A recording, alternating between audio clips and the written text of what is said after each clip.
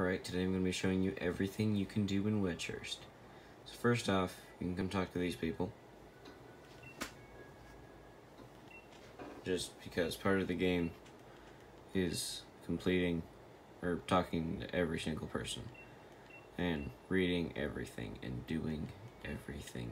Even if it doesn't give you anything and it doesn't show up on anything, you, you know, leave me alone. You just do it because you do.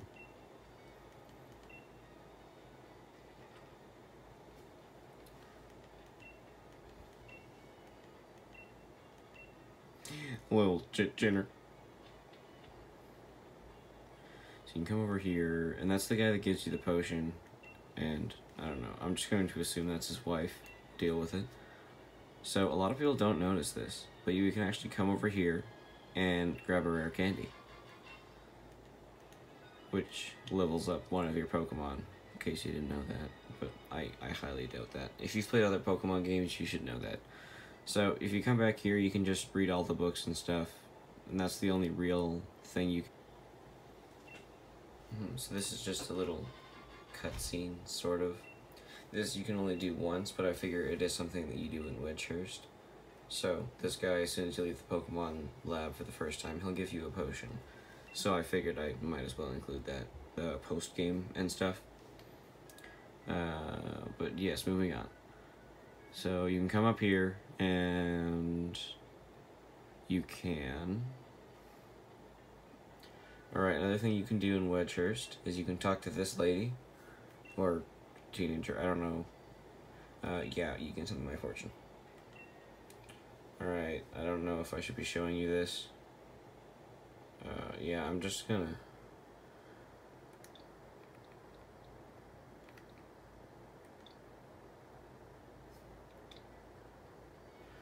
Okay, and then she needs to know the day that you were born.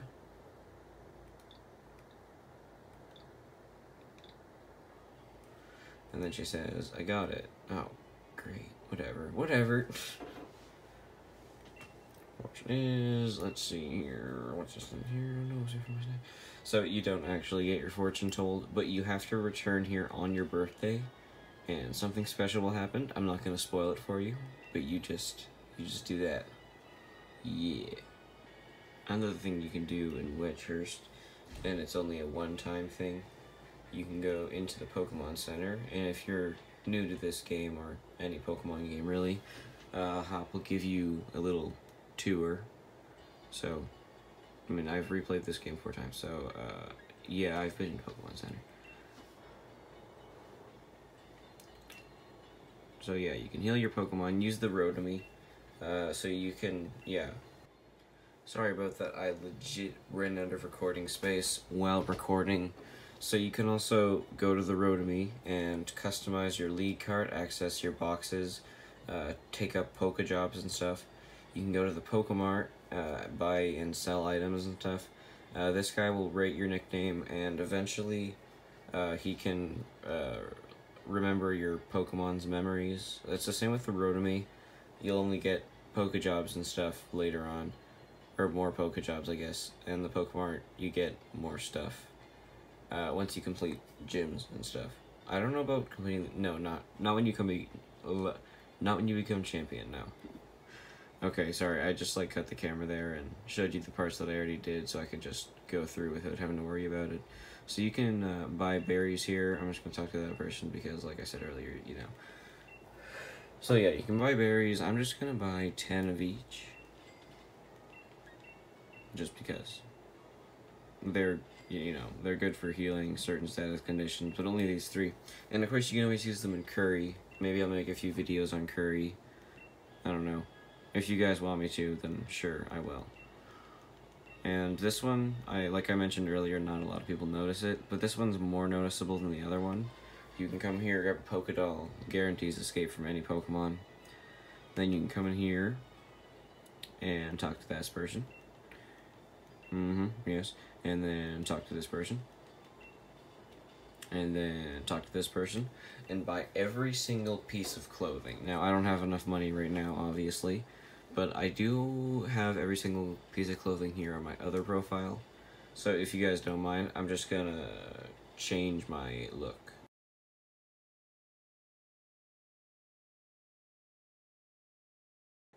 Alright, there we go. I changed my look, put it on time lapse. Let me know what you guys think. Uh, I'm gonna change my hairstyle and eye color along with thickness of eyebrows once I get to Motostoke. But yeah, you can do that. Um, so yeah. And you just come along here and talk to everybody in here. There's just two people, so just just deal with it. It's 10 seconds of your day or gameplay, whatever. Talk to this person. And this person. And this person. You can talk to the Pokemon if you want. Uh, I don't normally talk to the Pokemon unless it's in X, Y, X and Y. Uh, there's also a revive right here. Yeah, because in X and Y, uh, I think it was, I, I haven't played in a while. I think it was called the Lost Forest or something, I don't know. It's where all the Pokemon go uh, when they've been released by their trainers. And you actually have to go there to find, like, the Ice-type gym leader. And some of the Pokemon give you, like, a potion and a Pokeball and stuff like that. I don't know. But it's worth it, maybe. Not really, it doesn't take that long.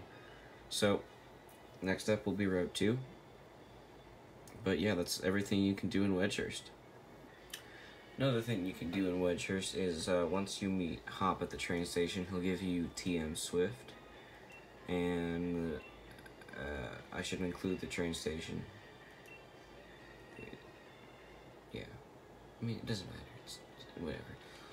Uh, never mind, I was just thinking to myself there.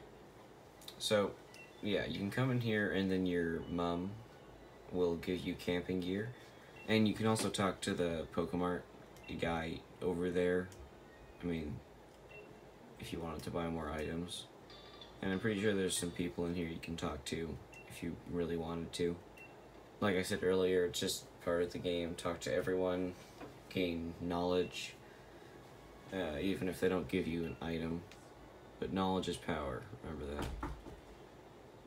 Alright guys, thank you so much for watching. If you haven't already subscribed, be sure to subscribe to enjoy more YouTube videos from mainly video game tutorials. Be sure to drop a like and share this video with a friend. Thanks for watching. Bye.